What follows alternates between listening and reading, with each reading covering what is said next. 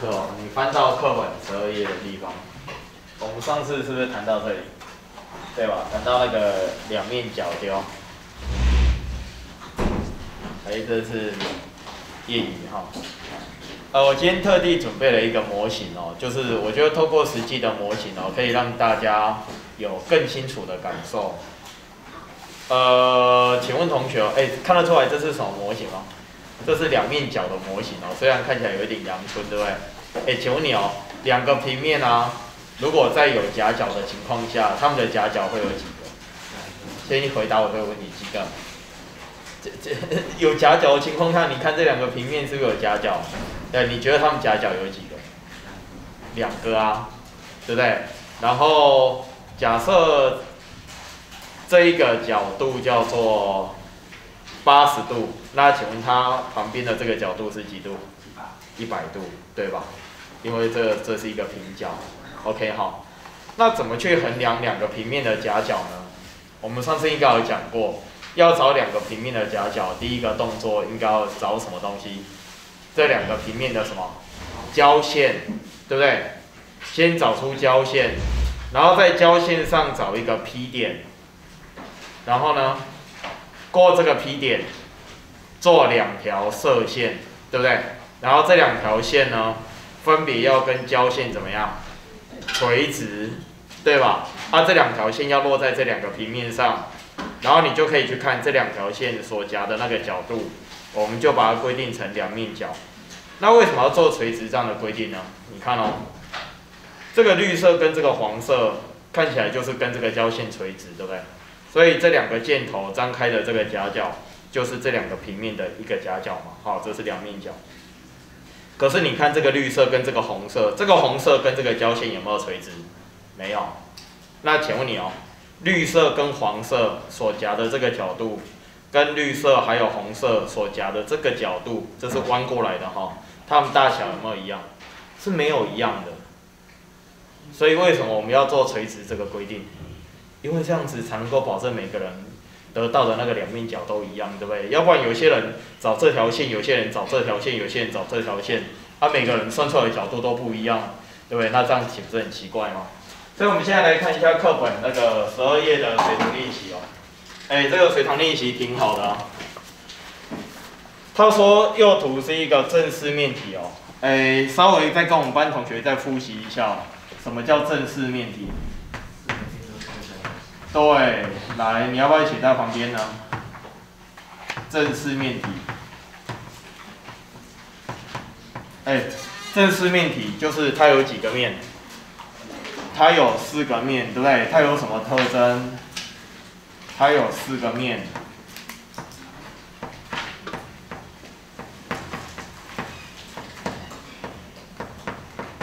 然后它每一个面都是一个什么形？都是一个正三角形，可以吗？哦，哎，这可以哈，这个正四面体，这个考试常考，哦。好，那我们来看一下哦。他说，在这个 AB 线段上有三个点，叫做 PQR，是这个线段的四等分点。下列哪一个选项是底面 ABC？这里有个底面 ABC，对？来，底面 ABC，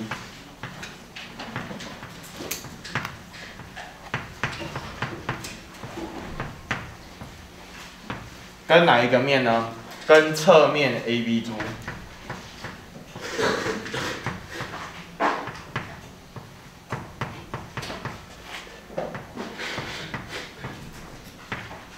好，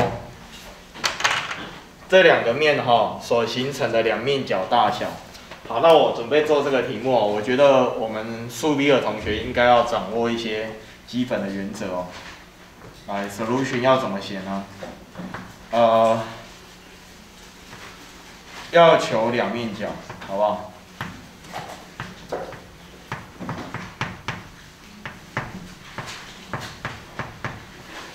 要求两面角，必先找出什么东西呢？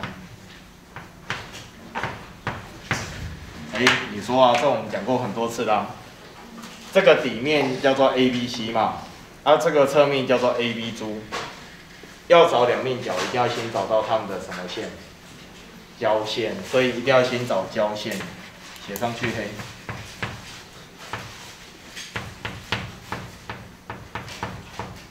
OK，好，好，那你现在先告诉我，这个侧面啊，跟这个底面它们的交线是谁？讲出来啊，这一条线在哪里？这个侧面 A B C 跟底面的 A B 啊，不不不不不不，这个侧面的 A B 珠跟底面的 A B C，它们的交线在哪里？是这一条对，这一条叫什么线？叫做 A B 直线，对吧？好，这一条就是交线 A B 嘛。OK，好，所以先找交线很重要，先把交线找出来。找出交线之后，我们要在交线上找到一个点，对吧？然后从这个点去做出两条射线，那这两条射线分别要跟交线是什么关系？要垂直。那我现在要问一个很关键的问题，请问你那一个点，你要找 A、P、Q、R、B 这五个候选人里面，你会选择哪一个点呢？就是你会选择 A 点吗？选择 A 点的话，那你就要找这两条直线的夹角喽，对不对？就要找这两个射线的夹角，对不对？哎，如果找 P 点的话，那你就是要找这个角，啊，找 Q 点就是这个角，所以这个角的大小会随着你找的点不同而改变，对不对？那数学上的规定，他说你找的那个点做出来的射线，要同时跟交线要怎么样？要垂直。那请问你要挑哪个点才是正确的呢？一定是挑 Q 点，必然是 Q 点。来，把 Q 点框起来。请问你为什么是 Q 点？有教很慢哦。为什么是 Q 点？因为这个 Q 刚好是 AB 线段的什么点？中点。来，写上去。Q 点是 AB 线段的中点。所以有时候你看一些参考书哦，你会发现说奇怪，他要求两面角，他常常在找线段的终点。你会想会很奇怪，为什么他要找终点？哎，你告诉我为什么要找终点？你说啊，为什么要找终点？因为它这个叫做正四面体，它的每一个面都是什么形？正三角形。我在旁边画一个图给你看哦，来，你看我这边。对一个正三角形来讲，比如说你在这里找它的终点，对不对？好，这个点是终点，这一段长度等于这段长度。OK，来，请同学告诉我，顶点跟对边终点的连线，这一条线称为叫什么线？叫做中线，对不对？但是我这个是正三角形，所以中线也刚好是它的什么东西？对，也是它的高嘛。对不对？就是你你懂那个意思吗？诶，这是中线嘛，它也是中垂线嘛，所以这个地方你会发现，你把它连起来，诶，这里这个是不是它的高？这个会垂直哦。所以你看啊，这个是不是这样？这个 Q 点跟这个顶点连起来，来，你看这个是不是夹角？是不是九十度？对不对？诶，对啊，它这个底面不是一个正三角形吗？顶点跟对边中点的连线。对不对？这个是它的高啊，所以这个是垂直的。然后你看这个侧面，这也是正三角形，顶点跟对边中点的连线，这也是它的高没？诶，对不对？所以这个也是垂直。那这个时候你就知道了，同时垂直交线的直线夹角，来，你的两面角在哪里？你的两面角在这里，这个叫做西塔，这个就是你的两面角。所以你知道我们这一题的答案是什么？来，我们的两面角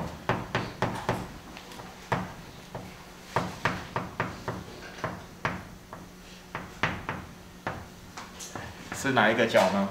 呃，是角珠 QC，是角珠 QC。哎，所以要选哪一个选项？要选。第三个选项，这样听懂吗？所以本题答案请选三。哎，我速力这样教会不会太快？应该不会吧？我速度已经放得很慢喽。总结一下这种题目哦。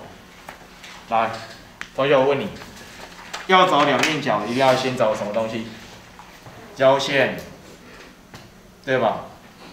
它们一定要有交线，然后在交线上找一个点，从这个点做出两条呃射线。诶，课本是讲射线吗？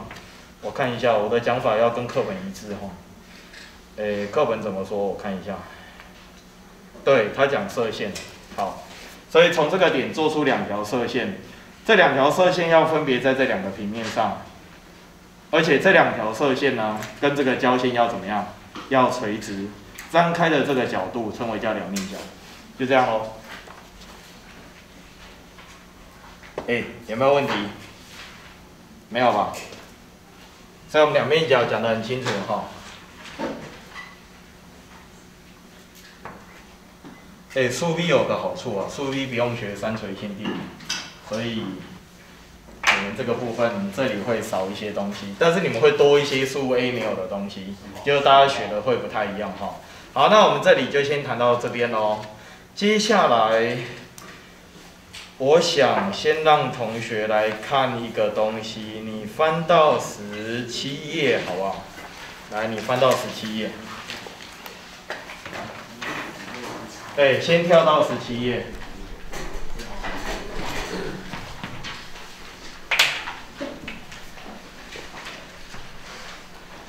十七页这里有一个数 B 独有的东西，那这个东西在以前的数学里面是没有的。来，我们把标题写上去，啊，找一个空白的地方写上去。我们要教同学什么叫单点透视，哈。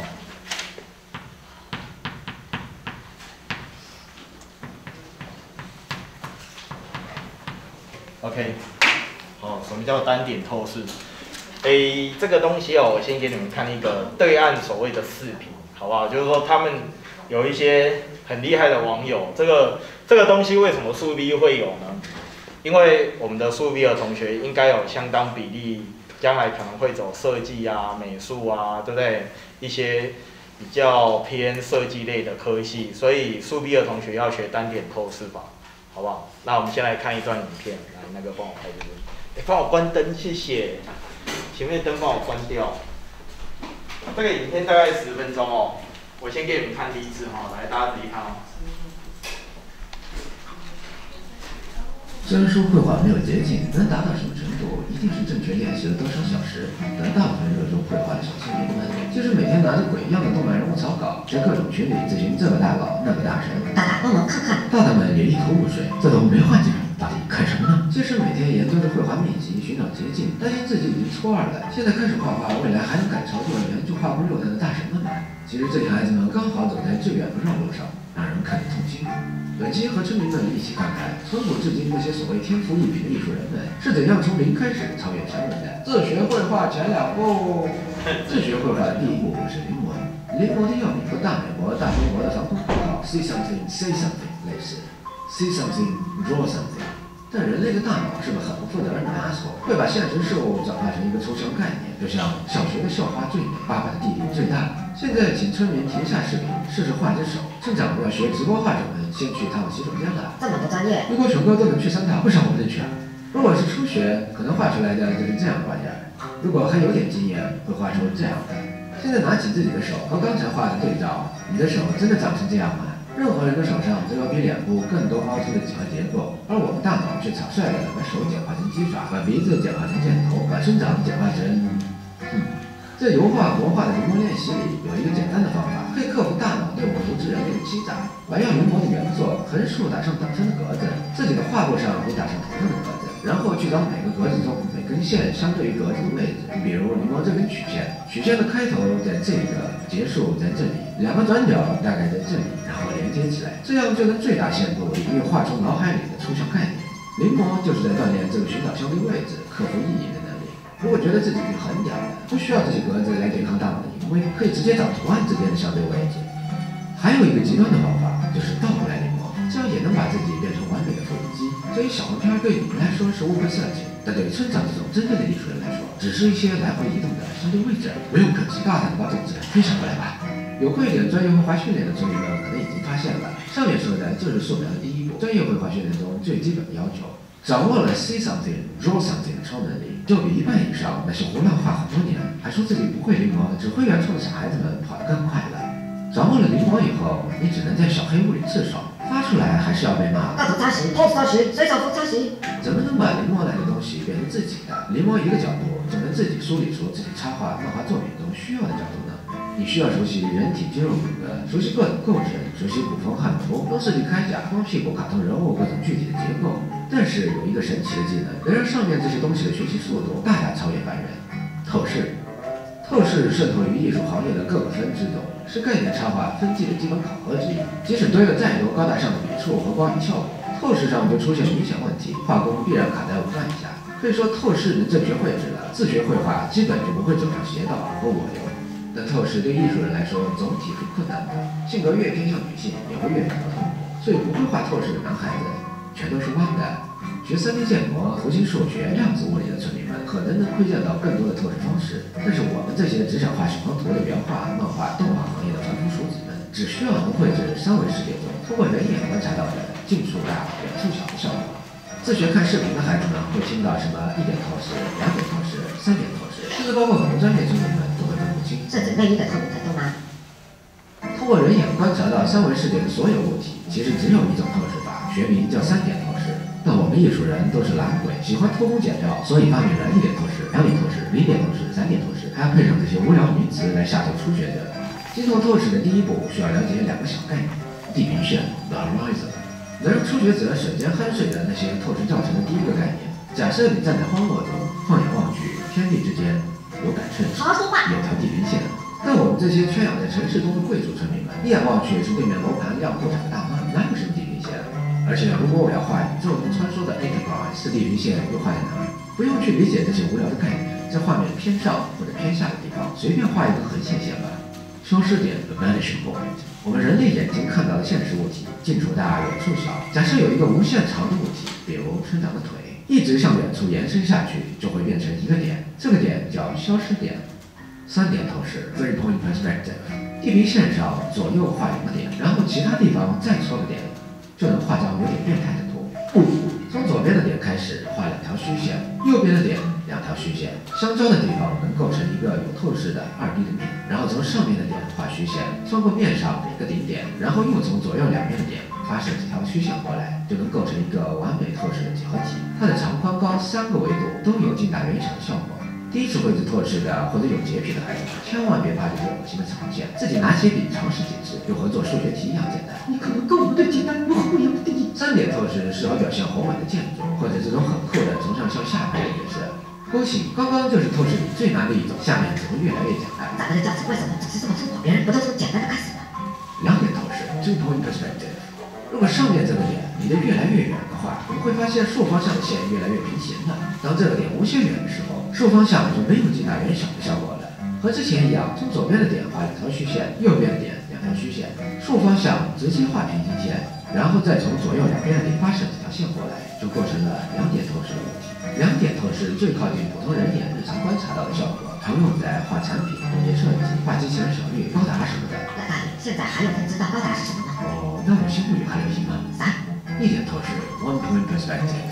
不仅竖方向平行了，横方向也平行了。从地平线上的一点发出这些虚线，穿过平面，就能画出一个个的透视物体。一点透视一般用在街景、通道、室内设计上。没有透视，oblique perspective。那么三个消失点都在无限远，竖、横、纵、深三个维度全都没有近大远小的效果，可以有吗？可以用。3D 软件里叫做正交视图。老版的《三国志》、农夫那个农业部，或者很多山寨垃圾野游中这种城市地图，就是正交视图。欺骗大众的营销词语叫二点五 D，散点透视 perspective）。上面这些方法，所有物体都在同一个坐标系中，都是些洋人玩的浮夸。但是我们博大精深的中国文化和伟大的中国人民，早就发明了画面中每个物体都有自己坐标系的神奇技法。散点透视的核心思想就是 far 透视，透视是啥？好吃吗？五点透视 （five point perspective）。村民们看 EVA 或者其他什么装逼动画的时候。有没有羡慕能绘制出这种透过监视器拍到的隐区角色的精湛技法？这就是五点透视，表现超广角镜头或者鱼眼镜头拍摄出来的效果。横竖画两条线，选四个点。横竖的参考线不要再用直线，而用弧线。只有连接中心点的线才用直线。想象你在一个地球仪上画画，或者想象九十年代买西瓜时想尝尝甜不甜，在西瓜上切洞的技术。可是村长，你说了这么多，那我还是只会画几个方盒子，不能画我最爱的裸体啊！稍安勿躁，村长当然知道大家都是些只想画小龙图的变态了。所有的人体、机械、场景，全是由三种几何体组成的。懂了透视以后，我们就能正确的绘制任意的几何体了。马上开始完美裸体征途吧，造动起来！动词的动动上词。村长，时间到了，收工。哦，村民们，下周见。已经连续四期了，下期该咕咕咕了。哦，那那下一周见。下期虽然没有抖抖村视频，但抖抖村微信上有我们万众期待的第九十五回抖抖村同人大赛，想参加的村民加油，就快截止了。本期的主题是身边的灵异故事，没法参加的村民们也来看看村长和小编们对每篇题作品的积极点评，比真的漫画教程还能学到更多的实战技法。动漫游绘画中不需要像物理学般精确的十位浮点小说，大部分专业画手平常工作中也不一定每次需要这些无聊的参考网格，很多时候不精确甚至有点奇怪的透视，反倒是独特画风的一部分。但是能绘制出标新立异的风格之前，一定要熟练我们这些精确的原理，因为任何夸张都要基于现实，才能被观众认可。否则就像一些不好的速成漫画里，人物是一种透视，而背景完全匹配不上的超维度画面。我这叫闪点透视，low 逼。我们平常放空大脑去勾勒熟悉的大脸、大胸、屁股的时候，顺便加入这些正确的临摹和透视练习，成为习惯以后，你会发现自己的屁股画得越来越饱满。这些不绕路的踏实练习。正是大家每天上下厕所的天赋和捷径。不管再会画各种绚丽的色彩混合、光影特效和五花八门的软件技法，我们还是要回到基本的基本来。因为临摹和透视是我们在艺术人的江湖上仗剑走天涯的第一把可靠的桃木剑。抖机。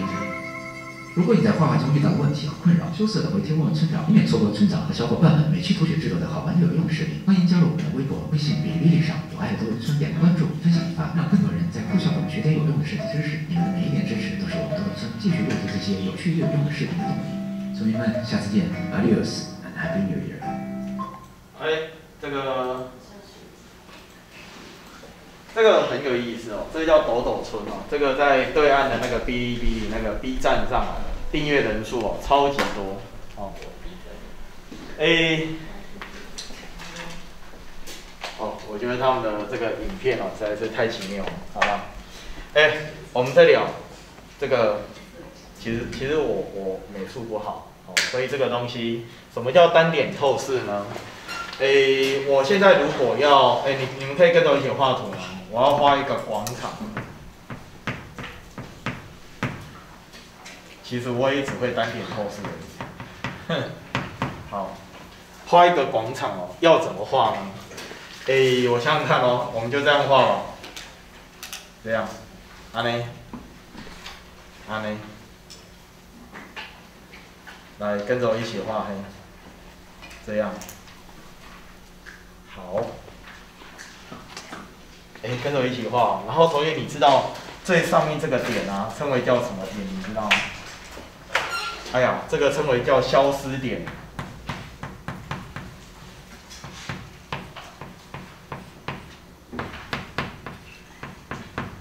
OK，这个叫消失点。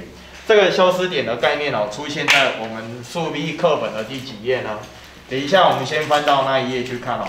Page forty seven，来，现在请我们班同学往后翻，翻到四十七页。我们先来介绍什么叫做消失点。哎，这个数 A 好像没有，只有数 B 哦。哎，翻到四十七页哦。哎，四十七页右上角，我这堂课要介绍什么叫消失点哦。你这边要仔细学哦。这个，我觉得这个。哎，好，仔细看哦。来，我们看一下右上角那个文字叙述哦。他说，在绘画作品上，由于人类视觉上的限制，来，这个后面那句话画起来。两条平行的铁轨看起来会交于很远很远的一某一点，这个点我们称为消失点，对吧？发旁边是不是有一个照片给你看？好，就这样子。人类视觉上的限制，两条平行的铁轨看起来会交于很远很远的某一点，这个点我们称为叫消失点。下面那个随堂练习，我们现在马上来做。右图为台东知名的博朗大道，请你在照片上标出消失点，这是把我们当白痴吗？你知道它消失点在哪里吗？就在那个，我不知道那个该怎么讲。你知道那个博朗大道那个消失点在哪里吗？就在那个尽头那边有没有？对不对？诶，如果是我出那个段考啊，我就出一题这种东西。然后右图是金门知名的呃什么路？光前路吗？请你标出它的消失点，就这样一题十分，你看多好赚啊！对不对？你懂那种感觉吗？好，哎，翻回到前面来。如果我要画一个广场，哎，那这个是消失点哦。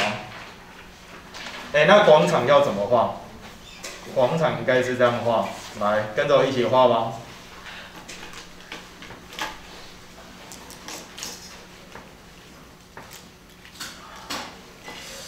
哎，我想想看哈，我画图其实不太行，有一这种美术的东西，有时候我都怀疑我自己是教数学还是教美术的。这个，哎，要怎么画哈？来这样子哦，嗯，这样过来，然后这样，这样过来。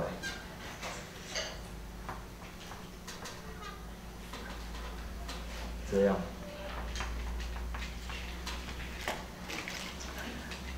哎，你在课本上画要画的漂亮一点，这样过来，然后这样，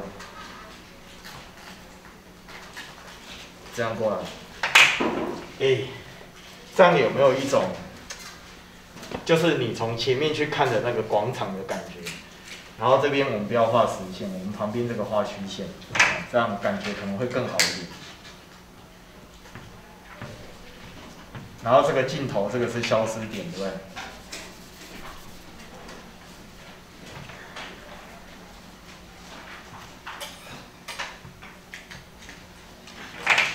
哎，知道我们在做什么事情吗？知道吗？好，那现在哦，诶。我觉得我们现在画另外一种图，另外一种图是什么？哎，这种图是广场在我前面，我这样看过去会有这种效果，对不对？有一种这个叫怎么讲，纵深的效果嘛。然后，这样看过去是不是有一种这种效果？那请问你哦，如果你由上往下看，这个广场会长什么样子？想象有一台空拍机在这个广场的上面由上往下拍，这个空拍机它看到的会是长什么样子呢？哎，画在旁边好不好？我就画在这里好了，一二三四嘿，来，我们画在这边，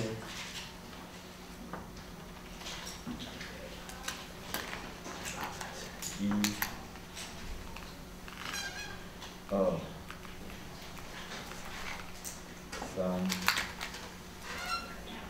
四，哦天哪，教这个我真的不太在行，一二三四五六七。一、二、三、四、五、六。哎，这个应该叫美术老师来教，你知道吗？这其实跟数学没有什么太直接相关的东西哦。哎，知道我在讲什么？对吧？哦，如果你由上往下看的话，它是不是会长这样？好现在我要请同学做一件事情哦，来拿出不同颜色的笔，好吗？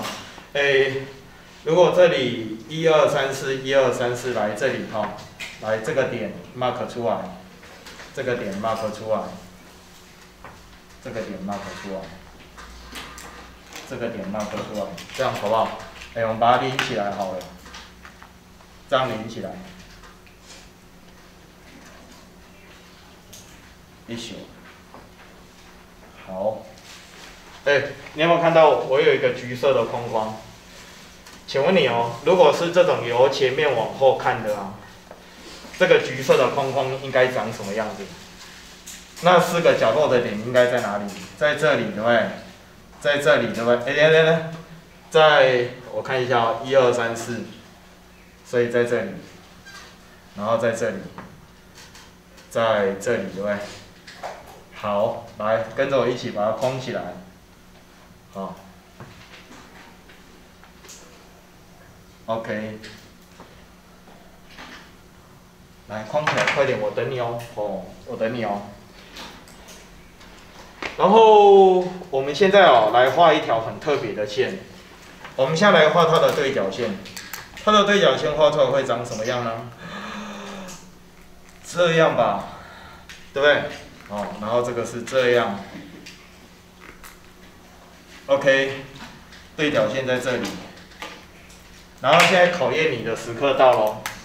你这个对角线，你帮我画出来，你觉得它对角线会长什么样？我觉得我这个对角线一定会跑掉，因为我这个图应该是不太准。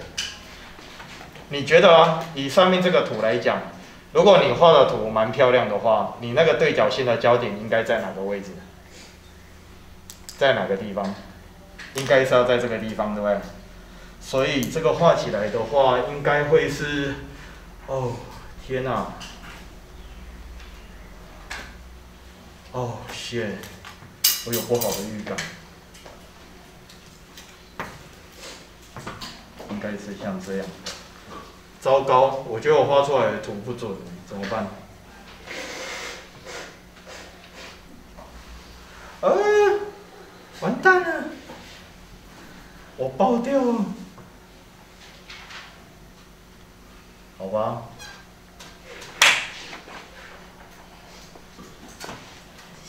应该是要在这个地方。shit！果然我没有，我不是绘画的料。哎，把这个图画出来，快点快点，我等你哦。哎，好了，这个就画一个图给你看哦。然后从这个图里面呢，我要讲一个东西哦。哎，这个就比较数学哦。这个叫做什么病患呢？你知道吗？这个叫做摄影病患。来这边写一个 T。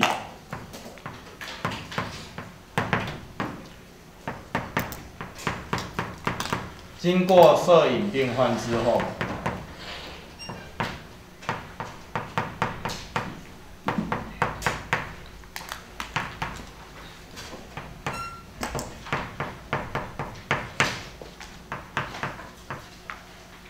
好，经过摄影变换之后，同学，我跟你讲哦，你应该大概可以感受到一件事情哦，同学，它前后的平行性是不变。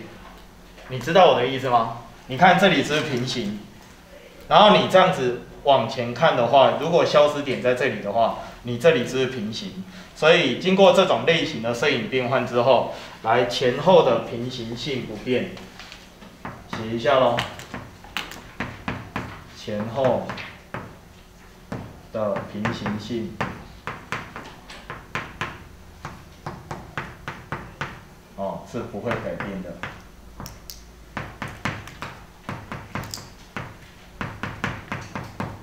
好然后左右会集中到什么点？哎，左右会集中到什么点？消失点，这样可以吗？左右会集中到消失点。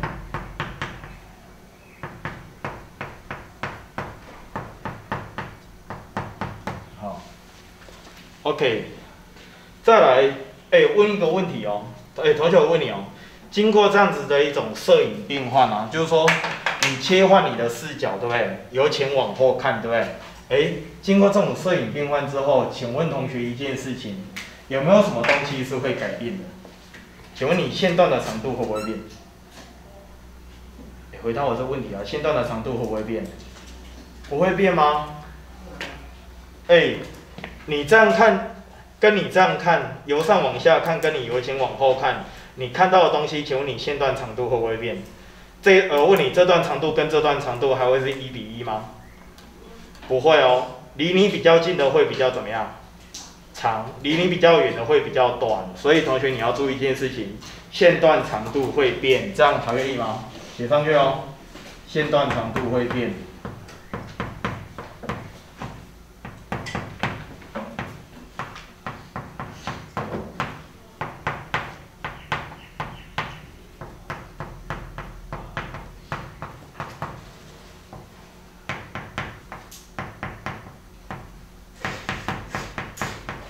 那请问你什么东西不会变？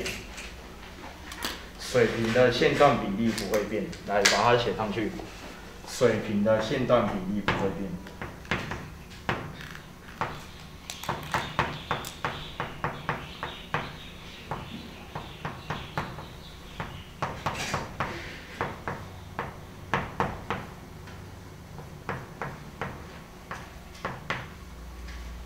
OK，什么叫水平的线段比例不会变啊？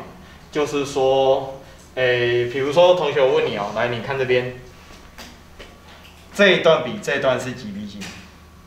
四比三，对不对？那我问你哦，你这样子看过去的话，这一段比这段还是几比几？还是四比三哦，它那个比例是不会变的，你懂吗？但是如果是这种方向的，它事实上比例就像这个就不是一比一咯。这样你听懂吗？我不知道，因为这个东西其实我不太我不太了解，就是它那个美术怎么看这个东西了。好，但是从数学的角度来看，大致上是如此。这样听懂吗？好，大概是这么一回事。那为什么要讲这个东西哦？因为我们现在要请同学来画一个很重要的图。诶，这个图。一样，请你在课本空白的地方，来，你把它画上去哦。来，我要你做一件事情，将一个圆把它八等分，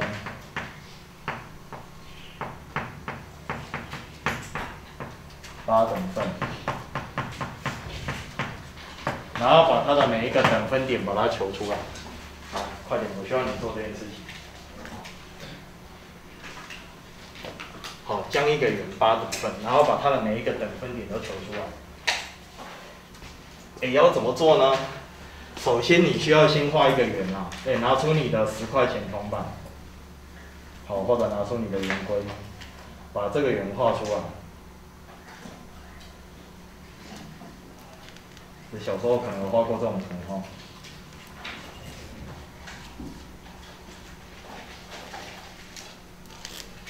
好。哎，那你要怎么样把一个圆八等分？很简单，首先你要先画一个什么东西？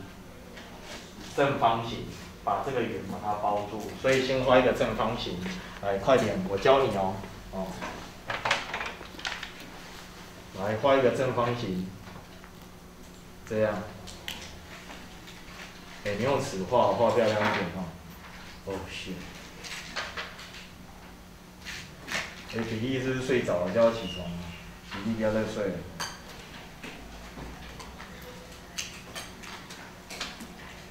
好，诶，好像还好，对吧？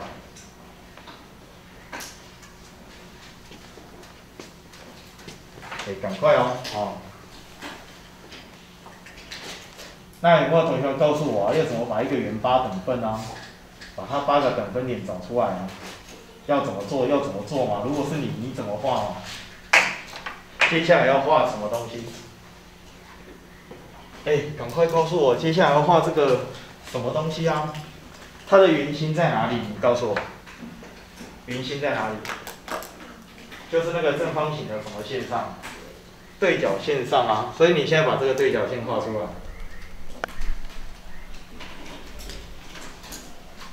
好。是不是这样？对吧？好，然后再来这一个点，这一个点，这一个点，哦，这一个点，这样可以吗？好，这我画的不是挺好，但是大概是这个意思哦。这样可以哦？哎，那这样子接下来怎么办？就这样子啊，来这里这两个点连起来，哦，然后这两个点连起来。你看我这样是不是就把一个圆八等分，对吧？好，这应该不会很难。然后现在要请同学做一件事情哦，过这两个点，帮我画一条铅直线。哦，线。OK，然后过这两个点画一条铅直线。好，来国中几何问题。这一段长度如果叫做 x，好啦，今天讲到唯一比较数学的地方，这一段长度如果叫做 y，问你一个国中几何问题哦，请问你 x 比 y 是几比几？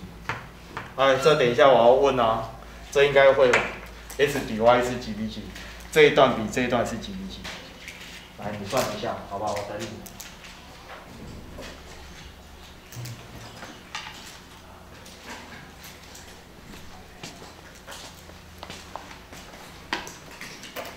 快点快点，哦。我们这边慢慢教哈，这有些东西，什么消失点啊、单点透视哦，哦。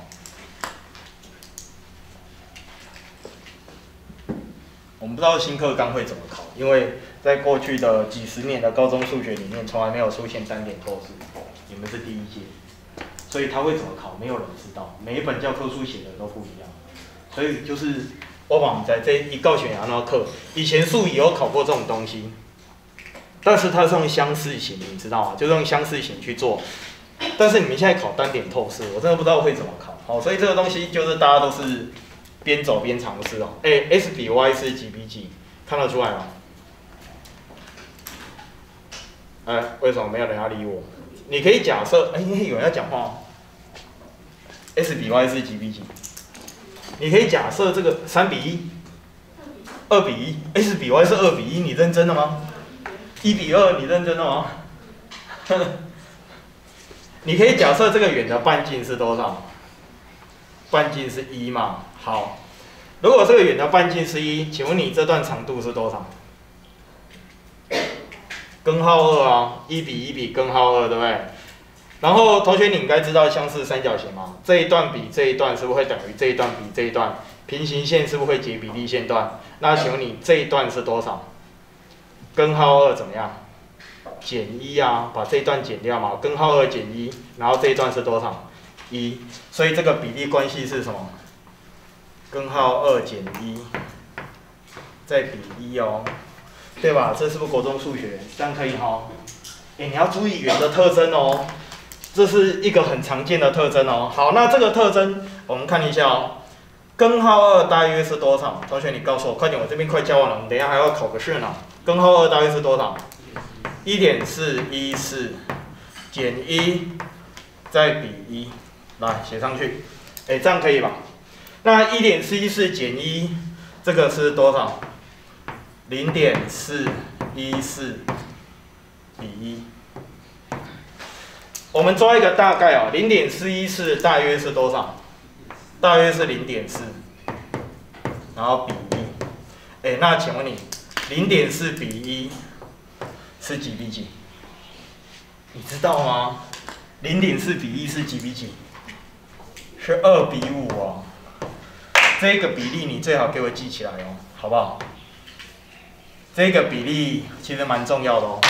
圆的一个特征，二比五，然后这是几比几？五比二。每个数 B 的同学都要知道这个比例。这是一个大约的比例，好不好？根号二减一比一，大约就是二比五。所以刚才温雅琪讲说什么一比二，不对，是二比五。二比五，五比二，这样可以吗？呃，今天时间的关系哦，我们就大概简单的、慢慢的介绍到这边哈，就是讲一下什么叫单点透视，然后就是一点有一点概念就可以。那我们明天再继续，好不好？好，再慢慢教。好，谢谢，谢谢萱姐，我们就先这样。